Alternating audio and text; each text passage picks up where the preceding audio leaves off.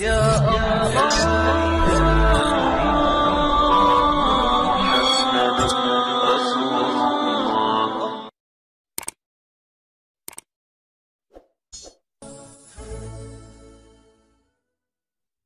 আলাইকুম বন্ধুরা, আজ আমরা একজন কাঠুরিয়ার গল্প শুনব। একজন কাঠুরিয়া, সে কাজে খুবই অলস ছিল। আল্লাহ শুক্রিয়া আদায় না করে এই চিন্তা করতো যে, আজ ভালো কাঠ পাবো কিনা। বাড়ি তাড়াতাড়ি ফিরতে পারব কিনা? জঙ্গলে কাঠ কাটতে তার মন বসতো না।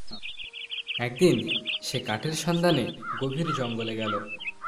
সেখানে গিয়ে দেখল একটি বড় গাছের উপর পাখির বাসা। সেখানে একটি পাখি ও তার একটি বাচ্চা রয়েছে। মা পাখিটি কিছুক্ষণ পর বাসা থেকে বাইরে এলো এবং এদিক ওদিক ঘোরাফেরা করতে লাগল। আর কিছু দানা খুঁটে খুঁটে খেতে লাগল।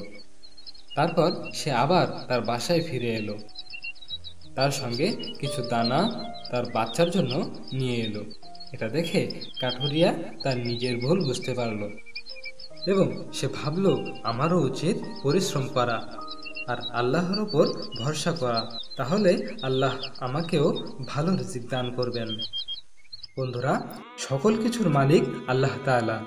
তাই সকল কাজের ক্ষেত্রেই আমাদের আল্লাহর উপর ভরসা করা উচিত। রসুল্লাহ সাল্লাহ আলাইসাল্লাম বলেন, যদি তুমি আল্লাহ পাকের উপর এমন ভরসা করো যেমনটা তিনি চান, তাহলে তুমি এমন রিজিক পাবে যেমনটা পায় একজন ব্যক্তি।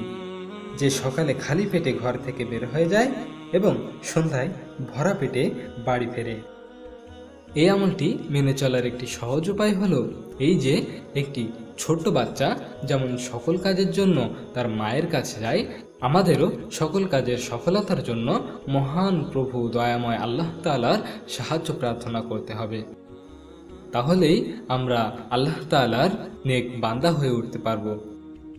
ছোট বন্ধুরা, আজকে এই পর্যন্তই। দেখা হবে নতুন কোনো পর্বে। সে পর্যন্ত ভালো থেকো এবং আমাদের চ্যানেলটি সাবস্ক্রাইব করে পাশের বেল আইকনটি ক্লিক করো। আল্লাহ হাফেজ।